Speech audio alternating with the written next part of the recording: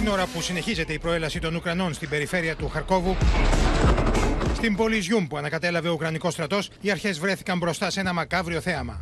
Στα περίχωρα τη πόλη ανακάλυψαν έναν ομαδικό τάφο με εκατοντάδε ορού στρατιωτών και αμάχων. Κάποια από τα θύματα είχαν πυροβοληθεί εξ επαφή.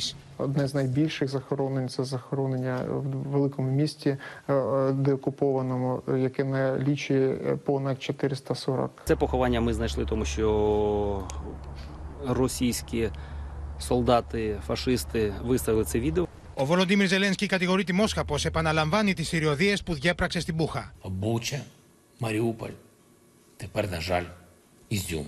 Росія всюди залишає по собі смерть.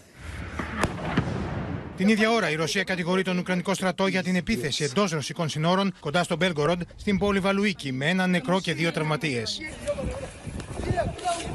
Μόσχα και Κίεβο αλληλοκατηγορούνται για τη σημερινή πυραυλική επίθεση στο κέντρο τη Χερσόνα με ένα νεκρό και ένα τραυματία. Η εκπρόσωπο του Ρωσικού Υπουργείου Εξωτερικών προειδοποιεί την Ουάσιγκτον για τη βοήθεια που στέλνει στο Κίεβο. Если Вашингтон примет решение о поставках Киеву ракет большей дальности, то он перейдет красную черту и станет непосредственной стороной конфликта.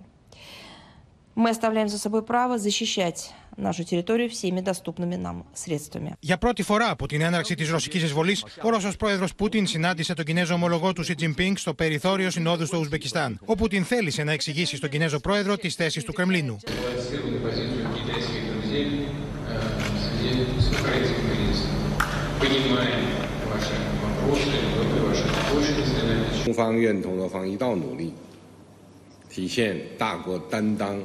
发挥引领作用。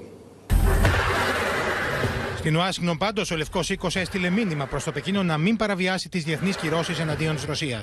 We've made clear our concerns um, about the depth of China's alignment uh, with uh, and ties with with Russia, even as Russia prosecutes a war of aggression in Ukraine, a brutal war.